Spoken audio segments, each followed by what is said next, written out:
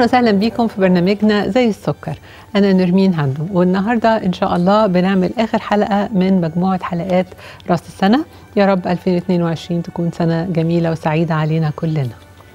النهارده هنعمل آخر حاجة اللي هي نوعين من أنواع الحلويات. أول حاجة هتكون بيكان باي أو آه، فطيرة البيكان وتاني حاجة هتكون آه، سلطة فواكه. نبتدي بال pecan pie عندنا للعجين واحد معلقة كبيرة سكر واحد ونص معلقة صغيرة ملح اتنين كوب دقيق تمانية معلقة كبيرة زبدة واحد معلقة كبيرة آه، خل تفاح ومية ساقعة على حسب الحاجة. بالنسبة للحشو عندنا اتنين كوب pecan أربع بيضات واحد كوب آه، maple syrup تلتين كوب سكر بني ثلاث معالق كبيرة عسل أسود واحد معلقة كبيرة فانيليا واحد معلقة صغيرة ملح وست معالق كبيرة زبدة مذابة. هنبتدي آه، بالعجين. هنحط المقادير كلها مع بعض ما عدا ال maple syrup. وهنخلطهم مع بعض لحد الملمس بتاعهم ما يبقى ملمس رملي. وبعد كده هنضيف ال maple syrup. مع شوية مية آه، حسب الحاجة.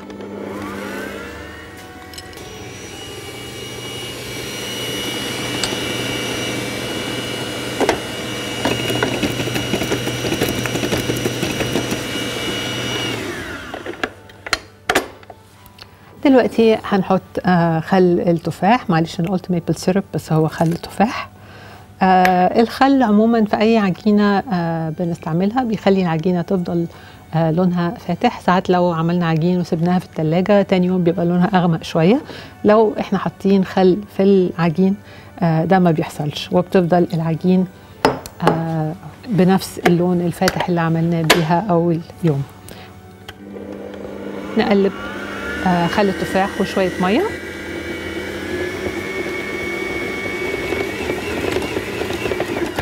okay.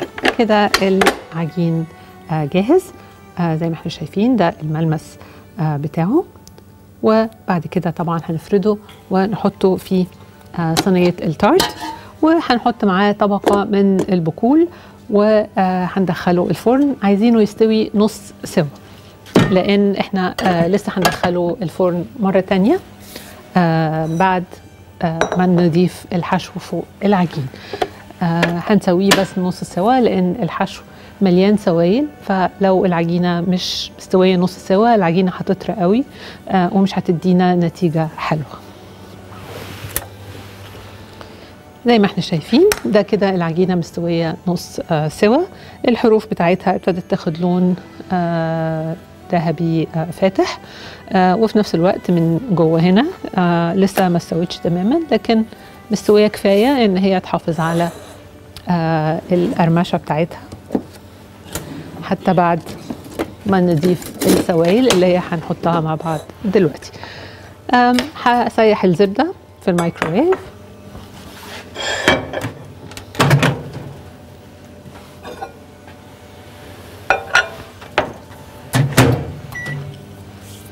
وهضرب البيض مع بعض. بالنسبة لل pecan pie مش عايزين آه، نضرب جامد لأننا مش عايزين نطلع آه، رغاوي فقاعات آه، فوق الوش. لو ال pecan pie كونت الفقاعات فوق الوش دي ما بيبقى شكلها حلو قوي. إحنا عايزين ال top بتاعها يبقى ناعم. دلوقتي هبتدي أحط ال maple syrup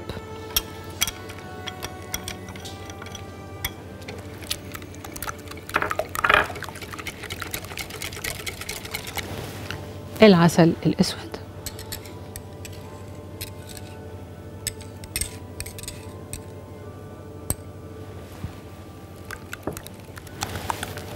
فانيليا.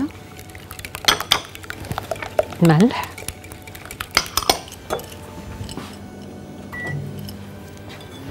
والسكر البني ويبقى فاضل لنا الزبدة.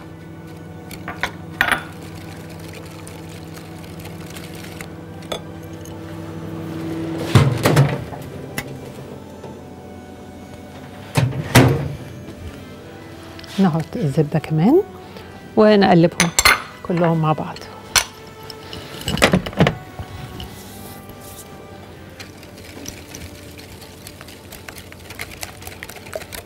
أوكي.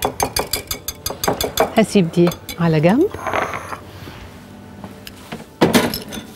ونبتدي نحط البيكان في ال pie. آه، يفضل لو آه، سويناه لكن ويبقى كله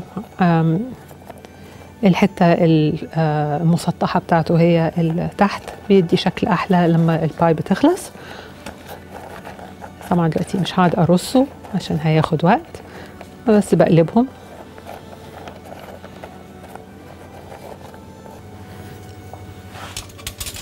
وزي ما إحنا شايفين حتى بالرغم من إن أنا ضربتهم بس بالويسك بإيدي وحاولت ما أضربش كتير آه بيعمل آه شوية رغوة فوق الوش. آه فدلوقتي آه نشيل الرغاوي دي بالمعلقة علشان يفضل السطح بتاعنا آه ما فيهوش الرغاوي دي فوق الوش. ناخدهم كده كلهم. كل الرغاوي دي تتشال.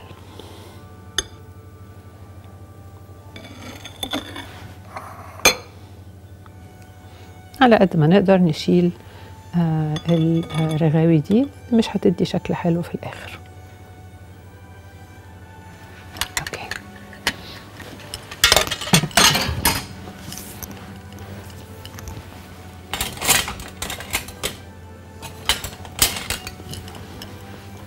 ودلوقتي نجيب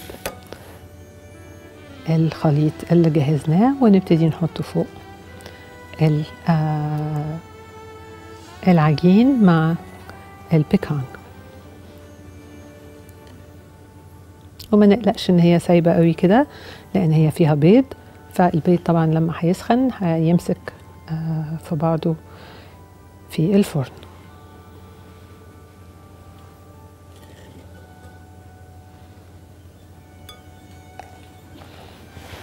ونوزع البيكان. نتأكد إن في آه، البيكان كلها متغطية في كل الأجزاء. كده كويس.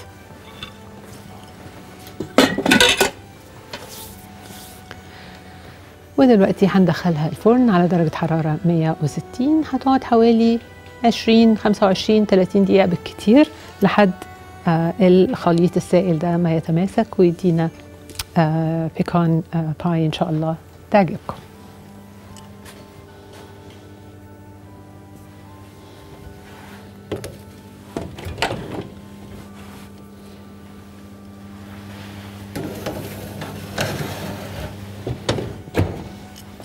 وده بيكون شكل البيكان باي بعد ما بتطلع من الفرن وبنقدمها مع آيس كريم وهي لسه سخنة.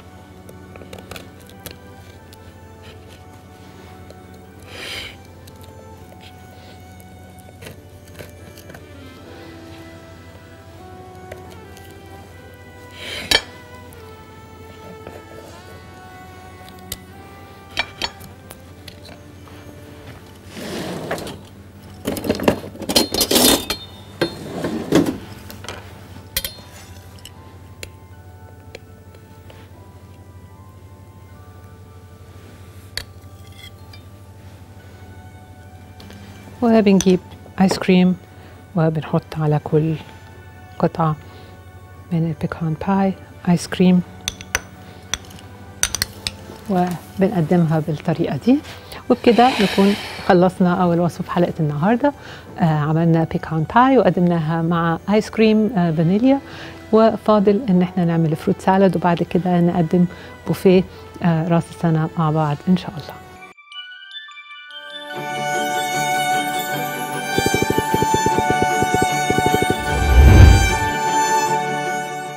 أهلا وسهلا بيكم نعمل آخر وصفة إن شاء الله هنقدمها مع بعض في آه، حفل أو في عشاء آه، راس السنة.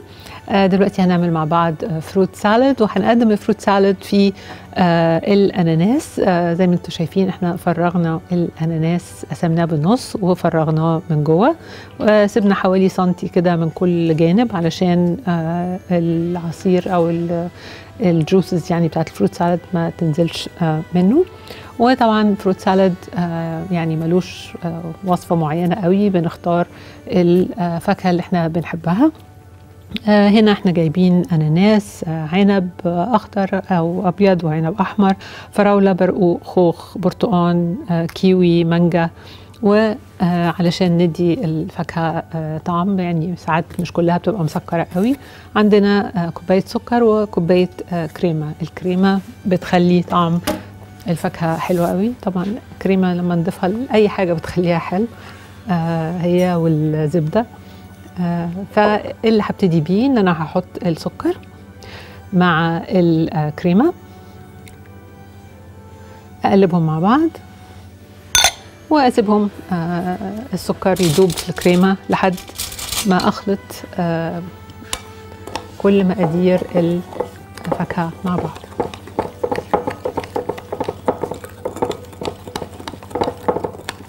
وطبعا لما هنحط معاهم الفاكهة الفاكهة كمان هتبتدي تنزل العصاير بتاعتها وكل ده هيختلط آه، مع بعض في آه، الطعم بتاعه في الفروت سالاد. هحط برقوق. خوخ.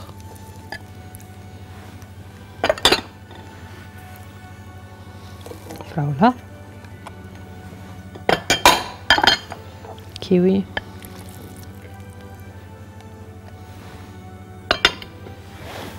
برتقال. مانجا.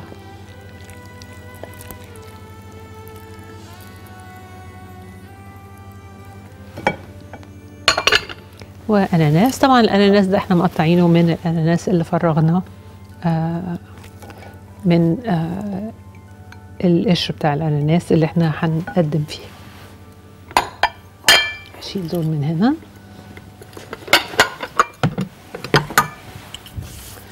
وهحط آه شوية من العنب وشوية من الأحمر كمان.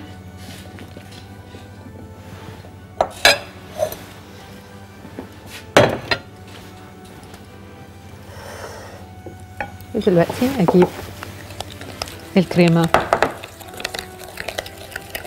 والسكر. وهنا أحطهم فوق.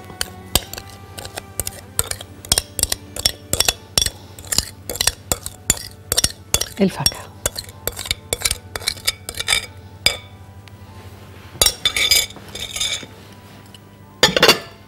إحنا لحد المرحلة دي ممكن نجهزها آه، من بدري شوية ونسيبهم كلهم مع بعض آه، في التلاجة يتشربوا طعم من بعض وطعم السكر والكريمة.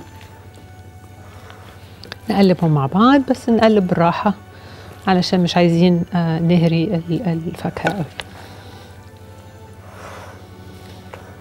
زي ما قلنا في المرحلة دي ممكن نسيبهم آه، في التلاجة آه، شوية ساعة أو ساعتين قبل ما نقدم الفروت سالاد. وبعدين هنبتدي نحط الفروت سالاد في القوالب اللي إحنا عملناها من الأناناس.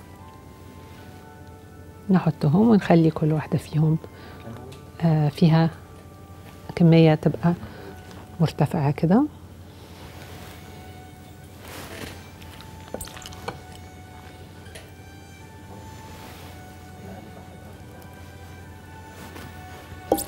ونحط في النص بقية الفروت سالاد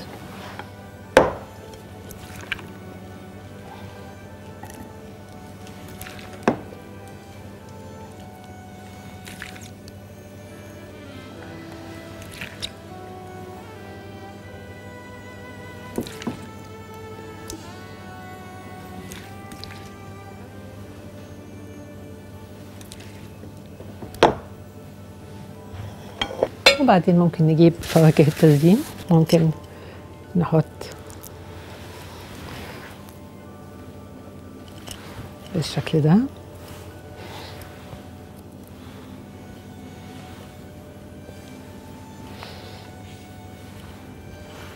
ونحط كيوي.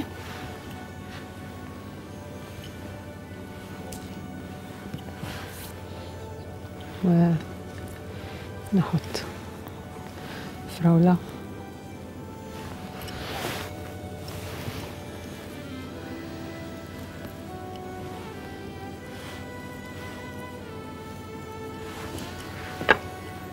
وبكده نكون خلصنا حلقة النهاردة وخلصنا الخمس حلقات الخاصين براس السنة.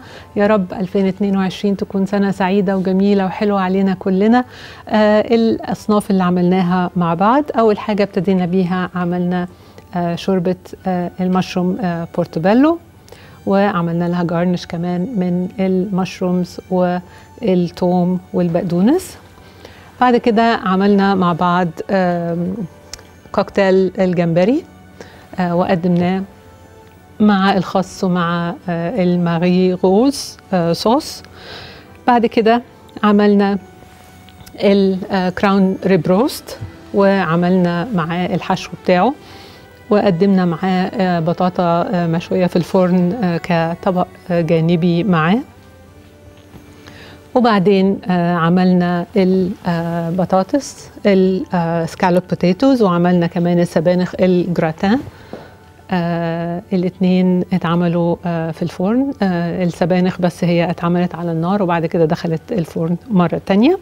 وبكده عملنا كمان ال salmon en croute حطينا السالمون مع asparagus وغطيناهم بعجين ودخل الفرن والسالمون اتخبز تماما جوه الفرن. ما يعني ما تسواش خالص بره الفرن لأن كمية ال ال الحرارة بتاعة الفرن كافية إن هي تسويه جوه العجين.